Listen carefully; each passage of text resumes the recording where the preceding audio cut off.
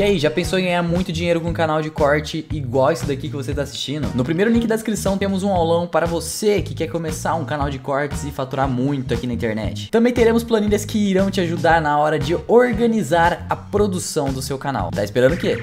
É, falando de bilionários, é... Ah, não tem só ele, hein? É, então. Tem o Bezos também, que é o Exato. dono da Amazon, que é outro também que... A gente teve a, a- no século passado a corrida espacial e hoje a gente tem uma nova corrida espacial que aí é a disputa dos, dos É a bilionários, né? disputa dos bilionários. São três, na verdade, né? Pra quem não sabe, é o Richard Branson, que é o dono da Virgin, Aham. que é aquele avião. Aí você vai no aviãozinho, chega lá numa certa altura e o aviãozinho volta.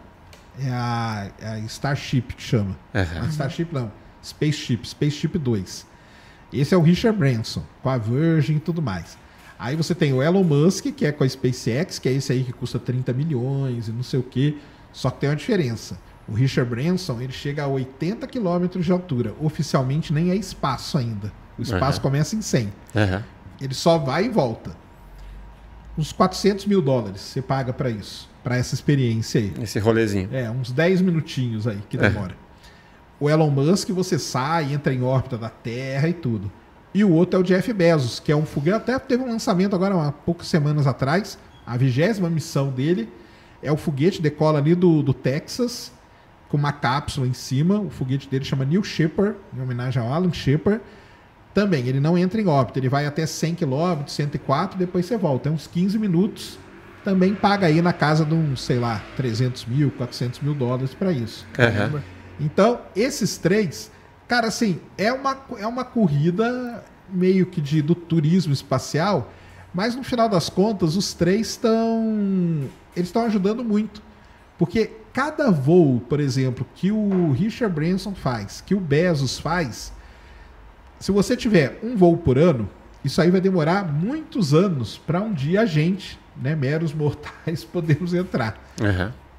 Se você tem 15 voos desse por ano, cara, daqui uns 4, 5 anos, cara, o preço Já vai dele estar comum. já vai estar é, vai estar acessível, entendeu? Aham. Vai estar vai tá custando tipo que é uma primeira classe num voo aí hoje de avião, entendeu? Aham. Que é uma coisa que já é acessível para muito mais gente, que é o que foi a aviação no começo, né? Aham. A aviação no começo só voava quem era milionário. sim. Aí foi precisando esses milionários voando Sim. Para as coisas irem andando. Igual o no filme do baixar. aviador lá, né? Exatamente. Aham. Igualzinho, a mesma O coisa. cara queimava dinheiro pra fazer cinema, câmeras e câmeras voando. vrá, Tipo, o cara fazia cinema e era aviador. E é a história inspirada numa história real. né? É isso aí, do Hughes, né? Isso. mesmo. Eu teria medo ainda de sair da- do planeta da órbita. Eu. Nossa, imagina você deitar assim, Ah, subir. no- e subir, natural. subir, subir, subir, subir, subir. É, aí você entra em órbita da Terra e fica lá. A galera ficou lá. Eu, eu não iria, cara. Eu não vou. Eu não gosto nem de montanha russa. Eu tenho medo de avião pra caramba. Mas você acha que é uma disputa de ego desses milionários? De que, puta, eu sou mais foda que você. Ah, acaba tendo, né, cara? É. Acaba tendo. Porque aí o que que acontece? Tem essa coisa deles aí no turismo. Aham.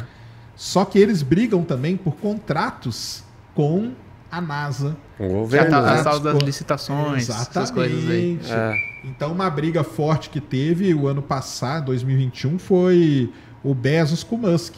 Aham. A NASA optou pela, pela Starship, que é o novo foguete do Elon Musk, para pousar na Lua. Aham. O Bezos não aceitou a derrota, cara. Olha essa. Não aceitou. Falou que a NASA mudou as regras.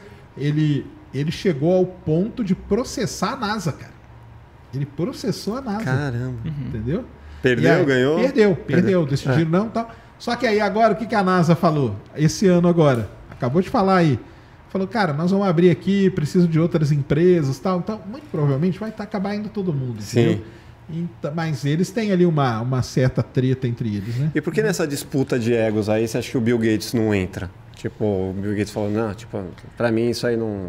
É, então, cara, o Bill Gates ele nunca teve essa pegada espacial, né? Aham. Foi outra. O Paul lá. Mas ele Paul- até se pronunciou contra, né, essa, essa disputa desses caras. Ah, sim, porque ele queria todo mundo unido, eu acho, né? É. Tal, então.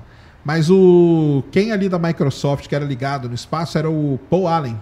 Sabe quem é o Paul Allen, o amigo dele lá. Ah, é? É, É. mais do que ele? Ele aquele Stratolaunch, que é o maior avião do mundo, que leva uma que vai levar uma navezinha na barriga, Aham. é Não é aquele da Rússia que foi explodido aí recentemente. Ele é maior. É maior que aquele? Antonov, é. Maior Nossa. que Antonov. É, esse Paul Allen aí investiu nessa Stratolaunch aí. É. Entendeu? Então, mas o Bill Gates, não, a pegada dele não é o espaço, né, cara? É. Então, Quer dominar por aqui ele mesmo? ficou, ficou de fora.